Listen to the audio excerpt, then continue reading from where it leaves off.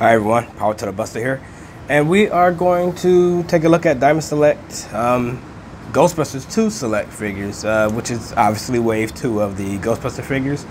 Um, as usual, if you hear noise in the background, that's just the furnace going, uh, trying to keep warm in here, um, which is working, but you know, of course it kicks on when I'm doing my review. Anyway, back to the video.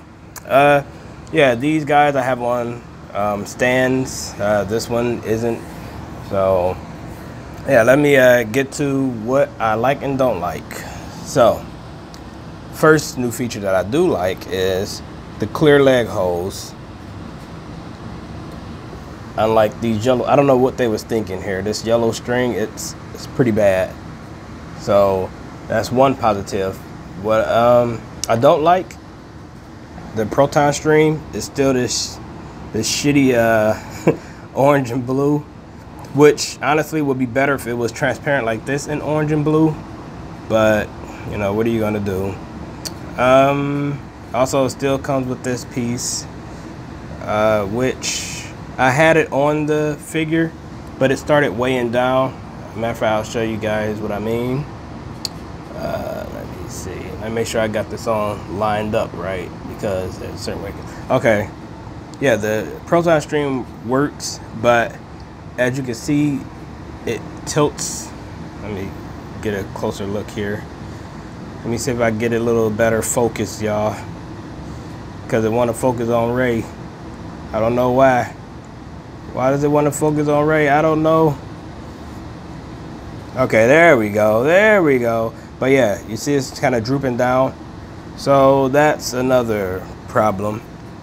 So also it'll be awesome if they had like a, a round blast effect or something coming from the wand. Yeah, you see how I just had to tilt it? It's supposed to be like this, but you know, so it's not very good to display them with that for long periods of time because I had it on the shelf about good two or three days. So yeah. Uh, also, this figure is smaller than the rest, so it's not a carbon copy. Even the body is smaller.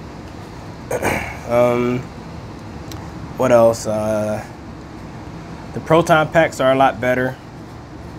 It's the same design overall, but you know, there's more screen accurate stickers, unless man was just missing them on here. I don't know. But there's a sticker. This one's sideways. It's supposed to be straight across, but whatever. Uh, the packs also, let me see, there's something else. There's also more coloring at the top. See where that blue and yellow is? It's solid black right here. Matter of fact, let me point it out to you if y'all don't see it right away. See if I can do this with one hand, y'all. Okay. Oh, oh, no. Okay. All right, there we go. See, uh, right here, the blue tip with the yellow. Here is just solid. Um, also, uh, any more stickers? Yeah, this is also missing a blue sticker and the uh, silver sticker. So I'm assuming it should at least been one of those on here. So I'm assuming they all didn't have it. Just guessing, just, you know. Otherwise, oh, also the pack seem to be made of a different material almost. Like it's the same, but it's a lot cleaner here. Um, I will show you guys using this guy, but there was the issue where you couldn't get the gun to stay on. Like you could get it to stay on a little, but not the way it should. Like the way I got this, I've been working at it, getting the grooves to hold and like mold it different so it'll actually hold and slide in there right. But at first, especially with the uh, figures that came out before this quitting time ray, you couldn't do it. And yes, I cut my strap off because I took the pack off. but yeah, you couldn't do it. This is still gonna flop out. So like, I, it's, it's probably not gonna do it now that I'm talking about it, but you know. Anyways, on the other ones, it's gonna pop out still. This guy has the correct stickers. Um, there's a lot more yellow on this one. I prefer the coloring on this one, the wires. But, you know, this one is more screen accurate. So again, the uh, here's the side view. Uh, I'm gonna also do a comparison with the Ray. Um, also, if you guys want them to have it on their belts, like in the films, just use the keyholes like this. And there's a little notch here. You just feed it right through. So yeah, and that's been working out pretty fine. These guys also come with accessories. I didn't even take them out the packaging, such as extra hands. But the extra hands is useless uh, for this guy, at least for me because on Ghostbusters 2 they didn't use gloves wearing these. See, this one fit perfect. I mean, yeah, this one's nice now. Sorry, guy. But let me see if I get him to stand. They come with stands, but the stands is kind of pointless. It should have been two pegs or whatever. But yeah, this one actually stays on 20 times better without modifications.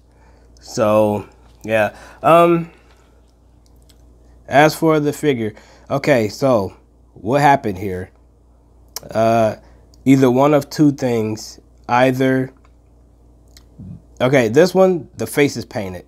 So it's molded in, I'm guessing the black color since the flesh tone here is overlapping the black, but the paint is pretty heavy that you lose the features. This one, either it's molded in the uh, color or they didn't put so much paint on the figure face, so you get more of the details. Because the, the likeness is kind of here. You know, I, I think the eyebrows, I don't know if you guys can see it. Let me put this guy down.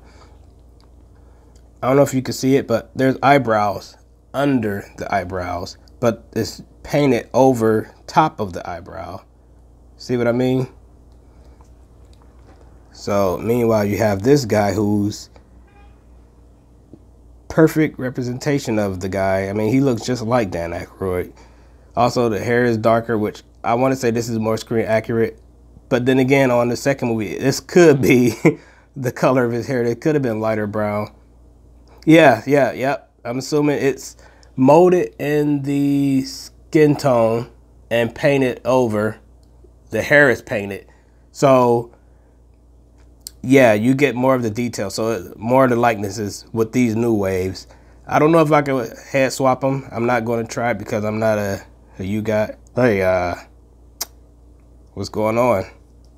Hey, how you doing? Um, I'm Ray Stantz of the Ghostbusters. I'm Ray Stantz of the Ghostbusters. Um, sir, being a Ghostbuster, you're gonna have to give me back that body because um, you don't deserve it. okay, all right enough of that. But yeah, the figure is the same body wise, even though this is quitting time. The original has the same body. Just the paint, they removed the leg holes here, which is uh, accurate. Uh, move that out the way. Uh, let's see, what don't I like? They still don't have double leg, uh, double leg, double elbow joints. It's still missing. You can't get that perfect particle thrower grip because it's still missing the double hinge on the elbows. So that's still a bummer. So it's like, yeah, they can hold it, but it's a little awkward, like the way he got it. It's it's not the way I want it to be held. Like if there was a double elbow, you could bring it up a little more, get him, you know, a better grip. Um, what else uh, before I run out of my time? Let's see, uh, any other problems? You know? Actually, that's pretty much it. Otherwise, the figures is pretty good this time around. I mean, they weren't that bad before. Hey, focus on Ray. I must got on autofocus or something. But it wasn't bad as uh, the originals. I mean, these is actually pretty perfect. Yeah, I got to pick up Vigo still. But yeah, once I get him, you guys will see a video on him. So like, share, subscribe, comment, all that good stuff. So, you know, um, I'll catch you guys later. Power Turtle Buster. Out.